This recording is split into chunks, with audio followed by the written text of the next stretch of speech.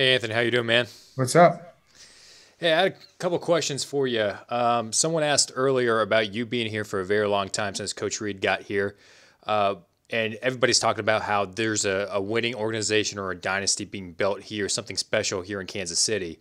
What are some building blocks that Coach Reid has brought in and some principles that has really developed this into an, a winning organization? And then the second question I got for you is uh, you were recently on Pat McAfee's show, and he has for the brand so promoting punters and kickers. Do you think you should start something for fullbacks?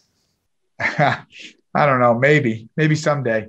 Um, no, I mean, I think Coach Reid is just has done a great job of bringing in guys that buy into his system, that are willing to do anything for the team, and that's what our locker room's all about. And that's why we have such a great time with each other.